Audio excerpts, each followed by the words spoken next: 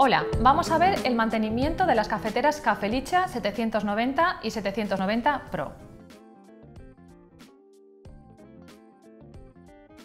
Antes de su primer uso, es conveniente lavar con producto no abrasivo y esponja suave el depósito de agua, el brazo portafiltros, los dos filtros intercambiables y la cuchara prensadora. A continuación llenaremos el depósito de agua hasta su capacidad máxima, conectaremos la cafetera a la corriente y la encenderemos. Cuando los indicadores luminosos dejen de parpadear, podremos pulsar un café y la cafetera realizará una autolimpieza.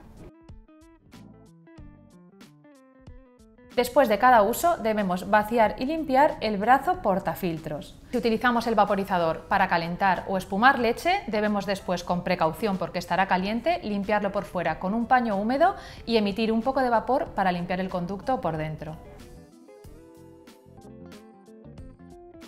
Semanalmente es recomendable que desconectemos la cafetera de la corriente eléctrica y la dejemos enfriar si la hemos usado recientemente y limpiemos toda la cafetera por fuera con un paño húmedo. A continuación, vaciaremos y limpiaremos la bandeja antigoteo, lavaremos el brazo portafiltros y también lavaremos el depósito de agua con un poquito de vinagre si queréis para quitar la posible cal.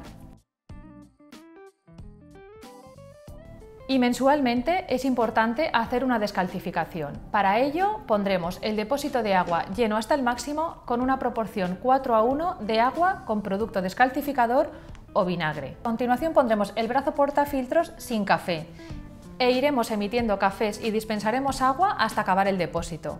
Una vez acabado, lo rellenaremos únicamente con agua y repetiremos el proceso para limpiar bien los conductos por dentro del producto descalcificador o del vinagre. Por último, lavaremos el depósito de agua con agua y jabón y ya tendremos la cafetera lista para otro mes.